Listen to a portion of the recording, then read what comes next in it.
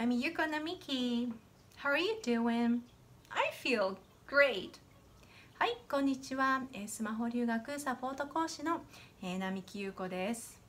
えー今回はですね日頃生徒さんを教えていてちょっとこう、まあ、疑問に思う、まあ、日本人が勘違いしている間違っている間違いやすい、えーそういう言葉を、えーちょっとこうお伝えしようかなというふうに思います。はい、えー今回はまずちょっとクイズなんですが、えー皆さん、うん、もちろんっていうふうに答える時どの言葉使ってますか？あれですよね。Of course. はい。もちもちろん、えー Of course でも全然大丈夫なんですが実はですね、まあ、ネイティブ、まあ、外国人ですねはもう一つ別の言葉の方をよく使っているんですね。これはもう本当に映画ドラマを見るともうしょっちゅうあの使っているので聞いたことがあると思います。それは absolutely です。でこれ辞書で調べるとこんな風に出てるんですね。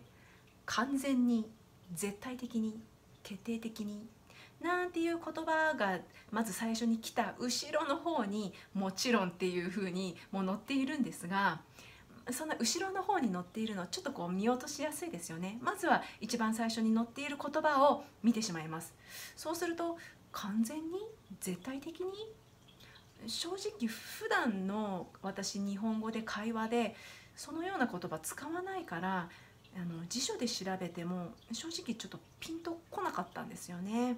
これがあの英語学習者の方が陥りやすいこう、まあ、ところではあるんですがお悩みなんですが、えーそんな時はですねあの映画の字幕をあの参考にされるといいですね。やはり字幕はあのえー普段使っている、まあ、自然な表現が載っているので、えーこう腑に落ちやすいかなというふうに思います。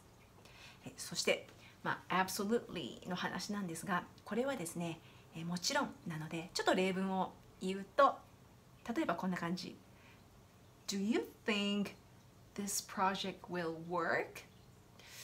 うんこのプロジェクトうまくいくかな？どう思う？Absolutely!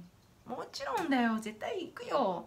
なんていうふうに、えー答える時とか、um, Do you really want to do this? これ本当にやりたい ?Are you sure? 本当？Absolutely! もちろんだよ。もう絶対やるよ。みたいな感じの、え時ですね、えー使ってみてください。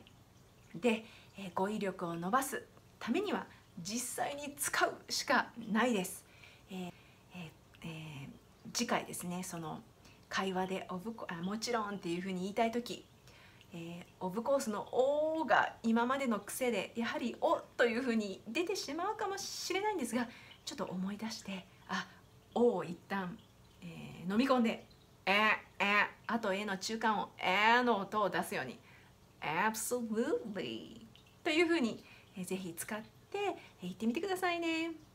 OK! Have a good day! Bye!